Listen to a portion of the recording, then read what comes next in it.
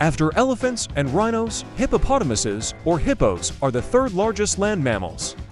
They are native to sub-Saharan Africa and live in freshwater habitats such as rivers, lakes, and swamps. Hippos spend most of their days in water, but they come out onto land to graze at night.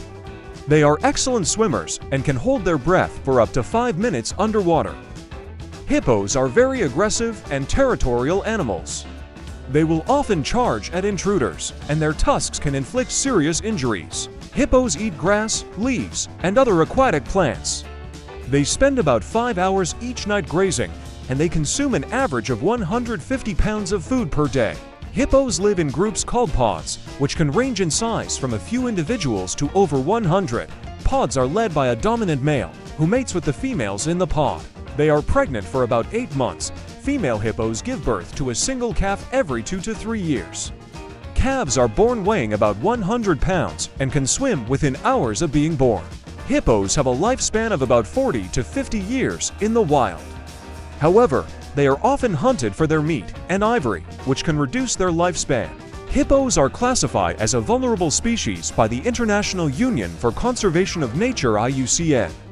This means that they are at risk of becoming extinct in the wild. Hippos play an important role in the African ecosystem. They help to keep water bodies clean by grazing on plants, and they provide food for other animals, such as crocodiles and lions. They are a popular tourist attraction. Hippos are a popular tourist attraction in Africa. Many people go on safaris to see hippos in their natural habitat. Hippos have been featured in mythology and folklore for centuries.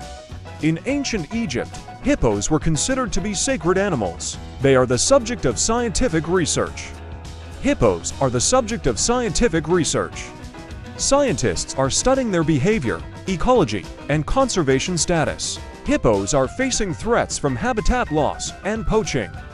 Habitat loss is caused by human activities such as deforestation and agriculture.